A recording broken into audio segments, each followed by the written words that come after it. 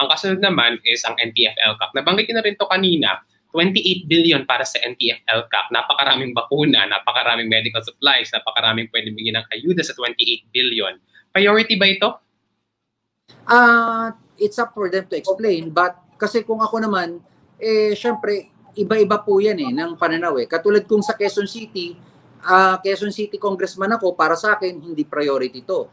Pero since ako po ay nasa Benguet, at meron po kami mga remote areas na hindi ganong napapansin, doon ko lang nakita yung LCAC, yung NTF LCAC na nag-provide sila ng mga kalsada, ng mga bridges sa mga remote areas kung saan uh, walang nakakapuntang mga national government.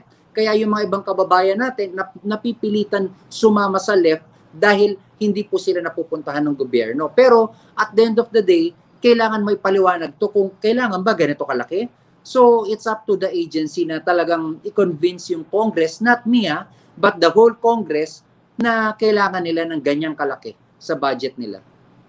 Ako mas man, I'm interested sa nabanggit nyo na nakikita nyo na merong mga kalsadang pinapatayo ang NTF-LCAC. Pero NTF-LCAC ba dapat yung gumagawa nito? Hindi ba DPWH o ibang ahensya o LGU?